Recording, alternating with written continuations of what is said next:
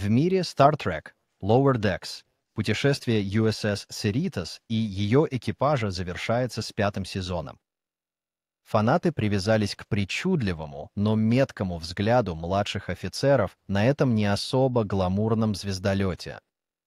Эти персонажи, хотя и не командуют вниманием, как их более знаменитые коллеги во вселенной Звездного флота, обладают уникальным очарованием и узнаваемостью, которые нашли отклик у зрителей.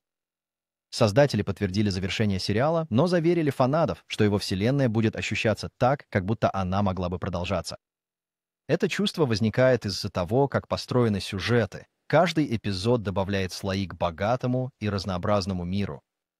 Уникальный взгляд на франшизу «Звездный путь», сосредоточенный на тех, кто обычно не в центре внимания, принес новую энергию и юмор в огромную вселенную истории Звездного флота. Экипаж корабля «Серитас» с их уникальными личностями и привлекательными недостатками стал любимыми персонажами. Есть капитан Кэрол Фриман, чье решительное руководство часто сталкивается с непредсказуемостью ее страстной команды.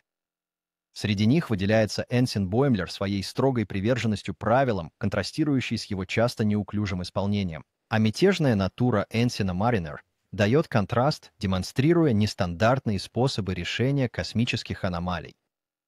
Энтузиазм и наивность Энсина Тинди предлагают искренний взгляд на радость открытия в космосе контрастирует с технически подкованным, но иногда недальновидным натурой Мичмана Разерфорда.